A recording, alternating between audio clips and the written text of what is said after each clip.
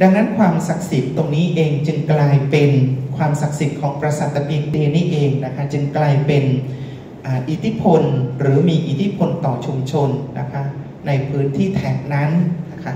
แล้วทีนี้บทบาทของปราสาทเนี่ยมีอะไรบ้างนะคะจากการที่เราได้ศึกษาของอาจารย์พิศักดิ์อาจารย์พิศักดิ์บอกว่าอิทธิบทบาทที่ได้จากปราสาทตะเปียงเตียเนี่ยนะไม่ว่าแต่เป็นงานประจำปีนะ บทบาทในด้านของการศึกษา ผู้คนสามารถที่จะเข้าไปศึกษาดูประวัติความเป็นมา นักวิชาการ นักศึกษา นักวิจัย หรือกลุ่มคนที่ต้องการจะไปทำยูทูบเบอร์นะคะสื่อออนไลน์ สื่อ social network อะไรต่างๆ จะไปหาความรู้หรือจะไปถ่ายทำวิดีโออะไรต่างๆ ก็แล้วแต่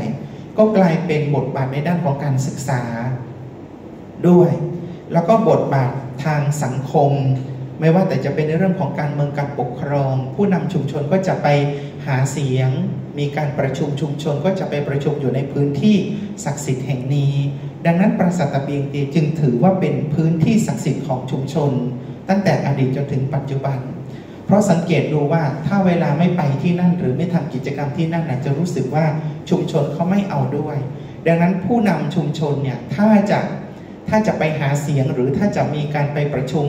อะไรก็แล้วแต่เนี่ยถ้าสามารถเข้าถึงปราสาทตะเปียงเตีย หรือเข้าถึงสัญลักษณ์ ที่เป็นจิตวิญญาณของชุมชนได้เนี่ยชุมชนเขาจะ